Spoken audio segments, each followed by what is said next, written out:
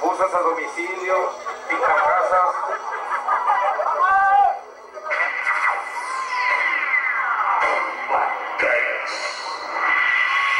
Nosotros pasamos trabajando, cumpliendo.